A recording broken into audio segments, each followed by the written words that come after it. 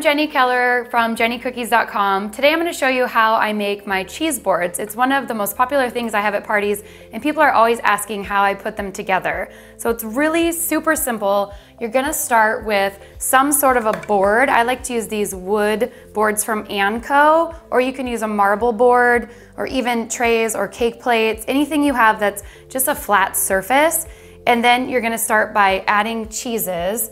And the best thing is to do like a variety of cheeses. So you might wanna do some Gouda, some goat cheese, sharp cheddar, like anything that you think your friends might like. And just scatter them around your board. With the, with the little Goudas, I usually try to like cut them up, same with the brie, so that people aren't kind of having to dig into a huge chunk of cheese. So we'll cut those up. And just scatter them around your plate.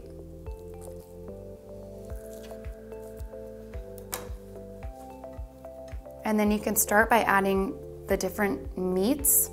And I usually like to fold mine over a little bit so it's not just flat on your board. It gives it a little height. And this pairs well with wine, dessert. And then you can start adding fruit. And you just wanna use like small little groupings of like grapes, strawberries. I usually like to cut the strawberries like in half so it's not a huge strawberry for people to have to bite into. And there's no rhyme or reason for this. It's just however you want to lay it out on your board. They're whimsical. Don't think too much about it. Just lay it out and then just fill in the gaps. And then you're gonna start adding your crackers, and it's always nice to have a variety of different kinds. These little rice crackers are my favorite little snack.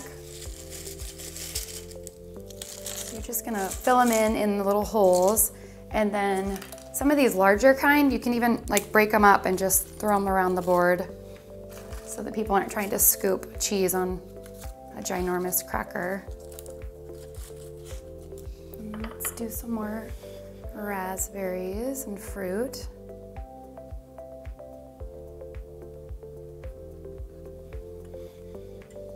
And then nuts are always nice to sprinkle in again and just like fill in those holes where there's nothing. So like almonds, candied walnuts are delicious.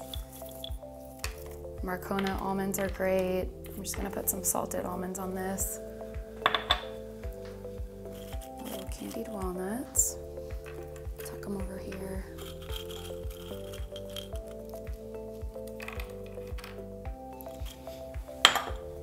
Right.